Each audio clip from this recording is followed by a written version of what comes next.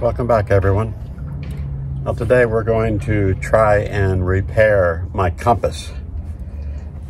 Now, my compass is located on the bulkhead here, and if you take a look at it, it's kind of canted at an angle, and that's usually caused by the fact that an air bubble has gotten into the compass and it's causing it to not function properly. Now, my choices are to either deal with it and just let it stay like that and not use my compass. Buy a new compass, which would cost about 300 bucks, plus take about two weeks of time to uh, order a new one, and I don't really have two weeks, or try and repair it. So I'm going to try option three, which is trying to repair it.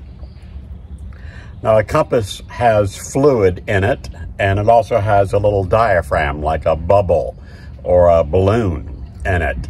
And the purpose of the balloon is to expand and contract as the fluid heats up inside the compass. And so what I'm gonna do is take the compass off the bulkhead, put it into a cooler full of ice, leave it there for eight to 10 hours and let it cool all the way down so that the liquid will contract as much as possible then fill the bubble that is left in there so that there is no bubble. And then uh, hopefully mount it back on the wall and have a working compass. So let's get started with this. First thing is to remove it from the wall. So on the back side of my compass, I have four screws. You can see one here, here, there, and one almost behind the fire extinguisher. I'm going to go ahead and remove those four screws and then it will come loose from the wall. Now we're going to put it in the ice bath. Okay, we have it removed from the wall. And you can see the big bubble that's here in the top. Now it's kind of flattened out again because I've taken it loose from the wall. But uh, we're going to put this in the ice bath and let it cool off and then we'll uh, hopefully get it fixed and be back to normal. Now you may be asking, how do I know how to do all of this stuff? Well, I actually don't. Uh, when I was a kid, I remember my dad had a big long set of books, uh, maybe 10 or 15 books in total, that were how to fix things. And anytime something would go wrong, like the refrigerator or uh, something wrong with the car, something like that, he would refer to these books. And it taught me at a very young age that, uh, well, if you look things up, you can usually learn how things work and how to get them working properly again. And uh, today we have the wonderful uh, invention of the internet. And so I just go onto the internet and look up how to fix things or how to fix a compass and then uh, follow the instructions that I come by.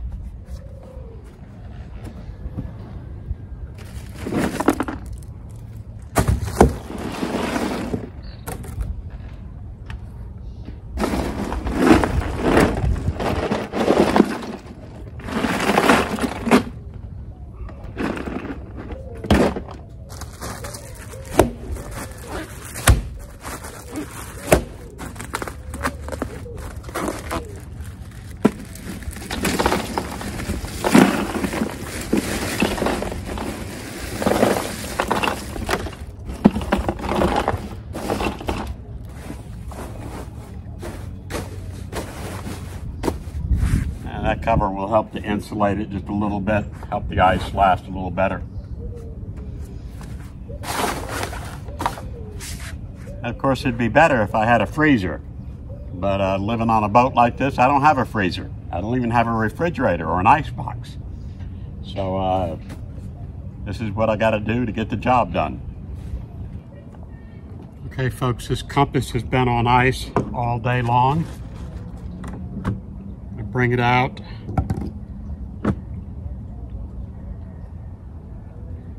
There's a little set screw right here. I'm going to release that set screw. And then I'm going to add some propylene glycol.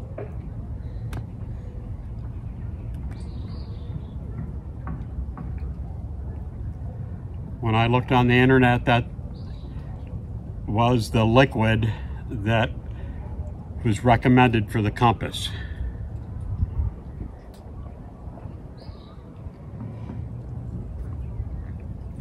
So I've got my propylene glycol.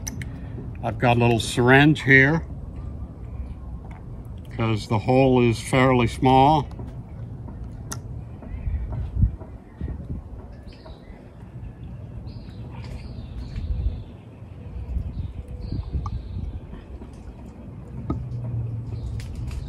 Get the air bubble out of here. There we go. Now we'll just tilt this up and taking quite a bit.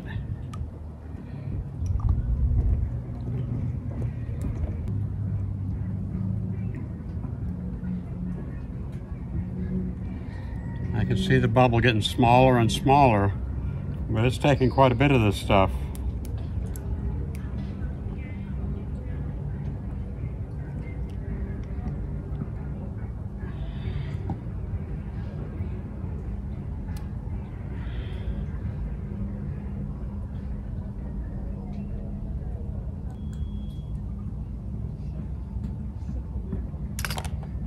Okay, I've gotten it, so I've completely filled the bubble.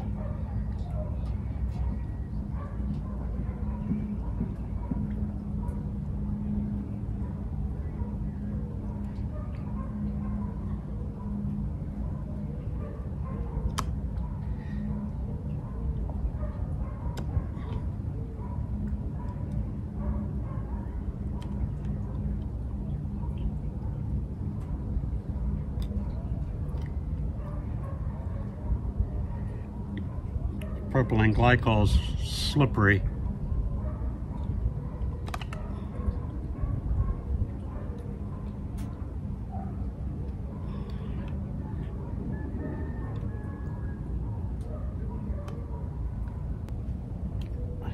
There we go. It's a little cloudy right now because it's still cold and it's uh, clouding up because of the heat and the moisture but I don't see any more bubbles in there at all. And now as it begins to warm up, that liquid will expand. So pretty simple job, all in all. Um, not the cheapest job in the world if you have to buy your own ice and you don't have a cooler available or a freezer.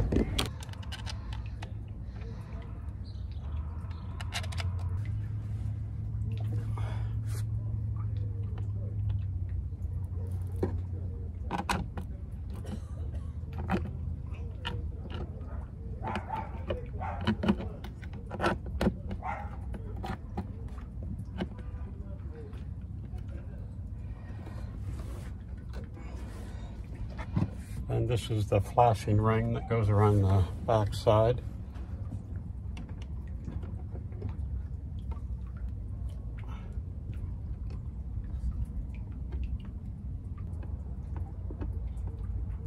Okay, so we got it mounted back in there. Let's put the trim ring back on.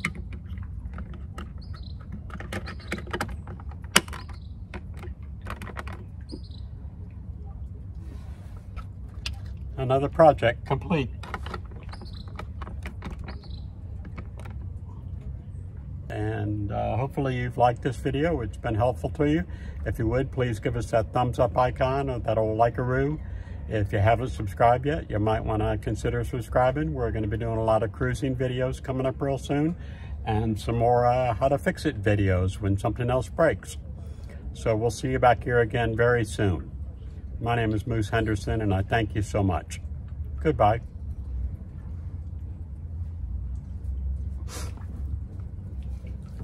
Now if the person in charge of the AC would turn it on, I wouldn't be sweating so much.